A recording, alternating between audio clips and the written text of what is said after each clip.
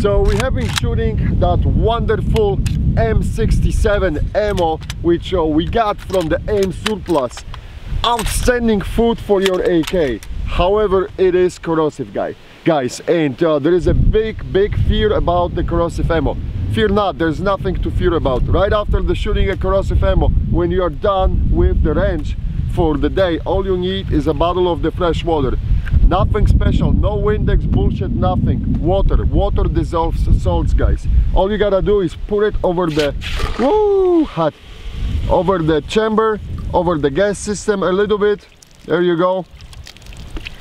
Flash it out. The fresh water is all you need. Then on the gas system okay just like this. If you have a warm water it's even better because the warm water dissolves salts better. Now we can do this on the piston a little bit on the bolt face not much. Okay and I'll dump all rest of the water to the chamber. There you go. We don't need that bottle anymore.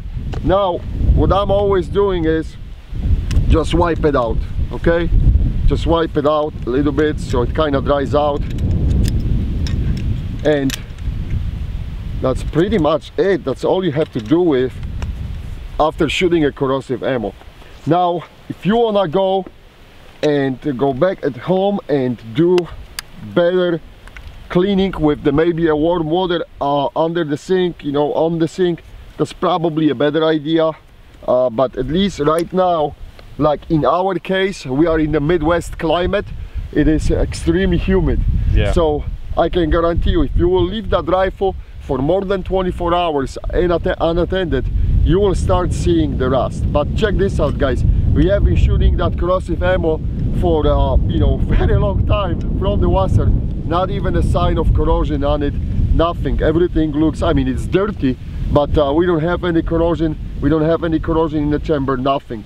And uh, this ammo is awesome because this is the military surplus m67 ammo works great but uh, that's all you have to do guys. Uh, fresh water that's all you need. You know uh, don't I, I heard some crazy stories. Some guys want to pee to the chambers like stop stop this madness okay? All you need is uh, uh, the fresh water and dry it out. And uh, if you will get back to home you wanna you know run the bore snake through the through the barrel. Yeah. that's all you need okay? That's it guys. Please let us know if you have any questions about corrosive ammo thanks for watching